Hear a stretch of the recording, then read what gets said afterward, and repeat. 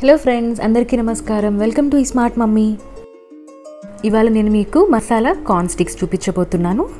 దీన్నే masala corn fries అని కూడా అంటారు. స్ట్రీట్ స్టైల్లో ఎలా ఉంటుందో అలాగే చూపించబోతున్నాను. అయితే ఇక ప్రాసెస్ స్టార్ట్ చేసేద్దాం. ఈ మసాలా ఫ్రైస్ కోసం స్వీట్ కార్న్ తీసుకోవాలండి. నార్మల్ కార్న్ కంటే కూడా స్వీట్ కార్న్ చాలా టేస్టీగా ఉంటుంది. ఒకసారి పైన లేయర్ అంతా తీసేసి క్లీన్ చేసేసేయాలి. ఇప్పుడు క్లీనింగ్ మొత్తం కంప్లీట్ అయిపోయింది కదా? ఇప్పుడు ఒక టూత్పిక్ తీసుకోవాలండి. ఆ టూత్పిక్ ఎంత లెంత్ ఉందో అంత లెంత్ మనం మెజర్ చేసుకోవాలి. టూత్పిక్ లెంత్ కంటే కూడా కొంచెం తక్కువగా స్వీట్ కార్న్ని కట్ చేసుకోవాలి. ఇక్కడ నేను త్రీ పార్ట్స్గా కట్ చేస్తున్నాను. కట్ చేయడానికి కార్న్ కొంచెం హార్డ్గా ఉంటుంది కనుక పెద్ద నైఫ్ తీసుకొని కట్ చేయండి.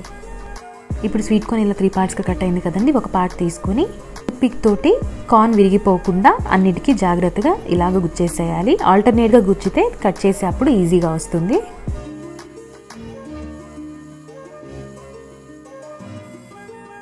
ఇప్పుడు ఇలా నైఫ్ హెల్ప్ తోటి దీన్ని ఒక సైడ్కి లేపాలండి. లేపిన తర్వాత అన్నీ ఇలా తీసి పెట్టుకోవాలి. చూడండి ఇలా జాగ్రత్తగా వీగిపోకుండా తీయండి. ఇప్పుడు మన ఫ్రైస్ అన్నీ రెడీ అయిపోయినాయి కదా ఈ స్టిక్స్ అన్నీ. ఈ స్టిక్స్ అన్నిటిని ఒకసారి బాయిల్ చేసుకోవాలి. ఇప్పుడు స్టవ్ ఆన్ చేసి ప్యాన్ పెట్టి ఒక గ్లాస్ వాటర్ వేసుకొని కొంచెం సాల్ట్ కూడా యాడ్ చేసుకొని వాటర్ రోలింగ్ బాయిలింగ్కి వచ్చిన తర్వాత ఈ కార్న్ స్టిక్స్ను వేసి ఒక ఫైవ్ మినిట్స్ పాటు హై ఫ్లేమ్లో కుక్ చేసుకోవాలి. ఆ తర్వాత ఒక టూ మినిట్స్ పాటు మీడియం ఫ్లేమ్లో మూత పెట్టేసి కుక్ చేస్తే మన స్వీట్ కార్న్ కుక్ అయిపోతాయండి. సెవెంటీ పర్సెంట్ కుక్ అయితే చాలు హండ్రెడ్ పర్సెంట్ అవసరం లేదు. తర్వాత వీటిని స్ట్రెయిన్ చేసేసి ఒక బౌల్లోకి తీసుకోవాలి. చూడండి ఇలా స్ట్రెయిన్ చేసిన స్వీట్ కార్న్ స్టిక్స్ అన్నిటికీ కార్న్ఫ్లోర్ యాడ్ చేసుకోవాలి. ఇక్కడ నేను ఒక స్వీట్ కార్న్కి ఫోర్ స్పూన్స్ కార్న్ఫ్లోర్ యాడ్ చేస్తున్నాను.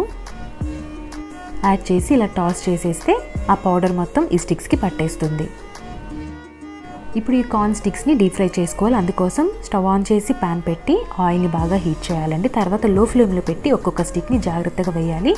ఒక్కొక్కసారి స్వీట్ కార్న్ పగిలిపోయి మీద పడే ఛాన్సెస్ ఉంటాయండి. సో కొంచెం దూరం నుంచి వీటిని ఫ్రై చేయండి.